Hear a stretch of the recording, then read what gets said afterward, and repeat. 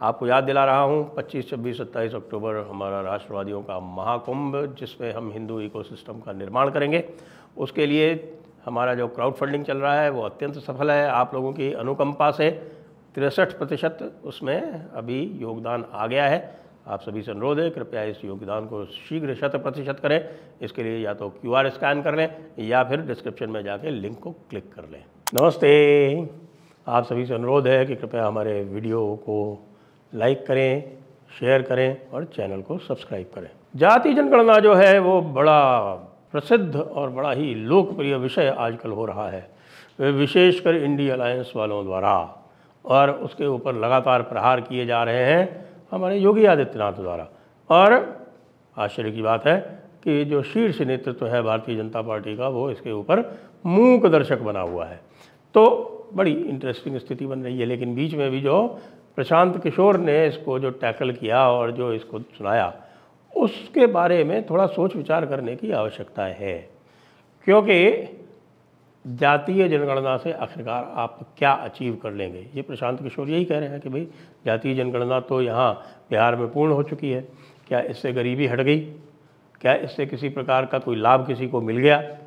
वो मिल भी नहीं सकता, क्योंकि आप जातीय जनगणना कराओगे तो जो जातीय ग्रुप जो हैं, जिन्होंने जातियों पर अभी अधिकार कर रखा है, वे तो प्रसन्न नहीं होंगे किसी भी तरह से। आप देखिए, जातीय जनगणना की बात कौन कर रहा है? जातीय जनगणना की बात जो है, वो मुख्यतः राहुल गांधी कर रहे हैं। और कभी कभी उनके स्वर में स्वर जो है, वो अखिलेश यादव मिला देते हैं, लेकिन कभी कभी ही मिलाते हैं, क्योंकि अखिलेश यादव को भी पता है और तेजस्वी यादव को भी पता है। यह यदि यह हुआ तो जो उनका एकाधिकार इस समय है, पूरे के पूरे जो रिजर्वेशन की पाई है, वो आपको मैं बताऊँ कि ओबीसी का यदि आप एग्ज़ाम्पल ले लें तो उत्तर प्रदेश में जो लगभग सत्ताईस प्रतिशत आरक्षण वाला जो भाग है, वो पूरा का पूरा यादवों और कुर्मियों में बढ़ जाता है। कुछ छोटा मोटा जो है, वो कुछ अन्य को भी मिल जाता है तो मिल जाता है। लेकिन बाकी जो बड़े बड़े जो आपके ग्रुप्स हैं, जो निषाद है, राजभर है, मल्ला है धोबी है, कुशवाहा है, मौर्या है, इनको कुछ नहीं मिलता। कोई थोड़ा बहुत कोई, चिंदी वाला, बस। इसी तरह से उदाहरण ले लें यदि बिहार का तो बिहार में भी जो बड़ा से बड़ा चंक है, ओबीसी के आरक्षण का, हालाँकि वहाँ तो वर्गीकरण कर दिया गया। तो वर्गीकरण कर दिया गया ओबीसी का तो उससे जो है, जो अति पिछड़ा वाले जो दलित है, अति पिछड़ा वाले जो ओबीसी है, उनको यहाँ हिस्सा मिल जाता है।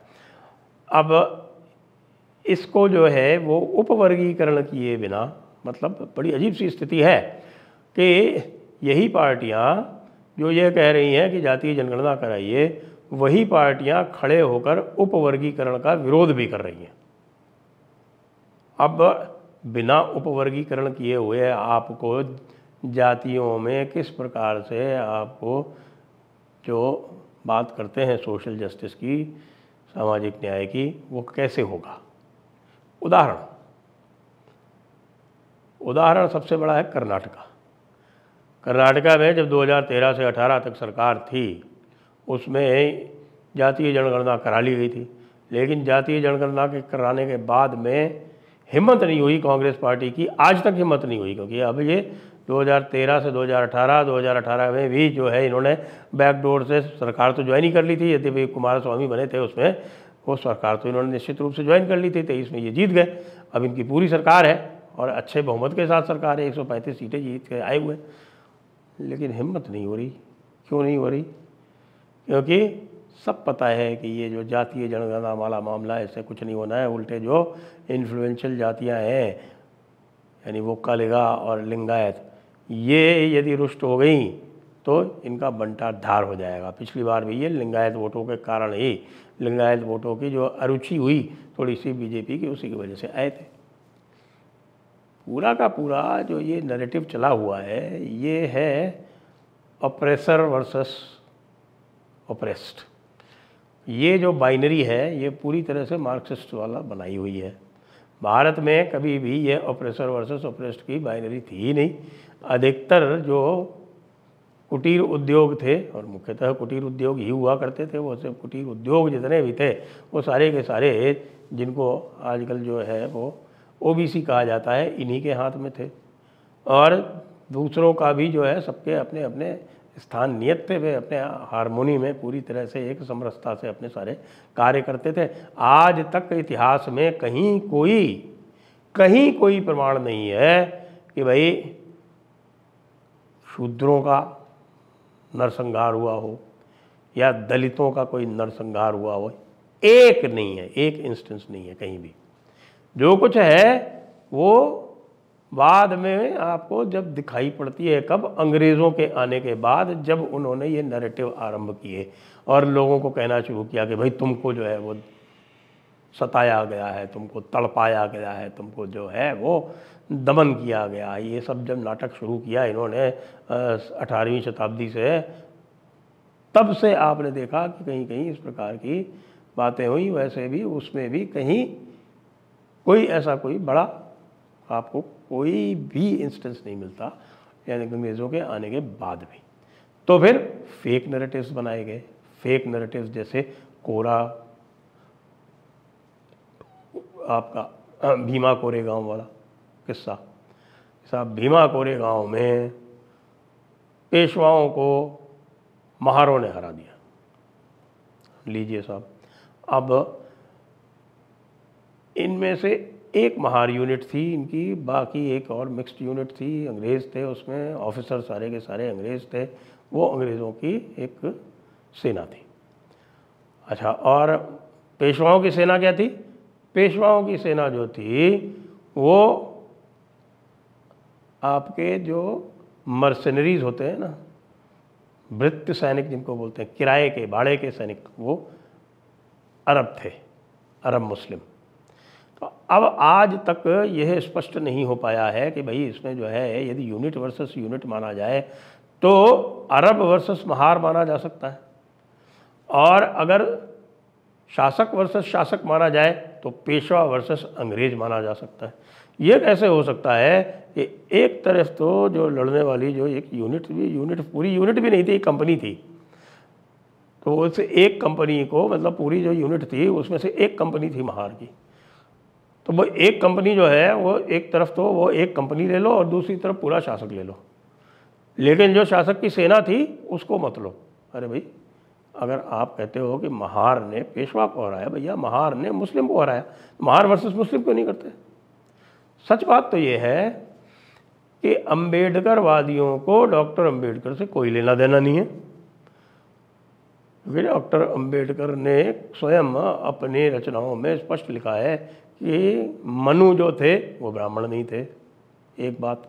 दूसरी बात उन्होंने कहा कि ब्राह्मणों की कभी स्थिति ये थी ही नहीं कि वो अपनी जो सामाजिक व्यवस्था जो कह रहे हैं, वो स्वयं लागू कर पाए।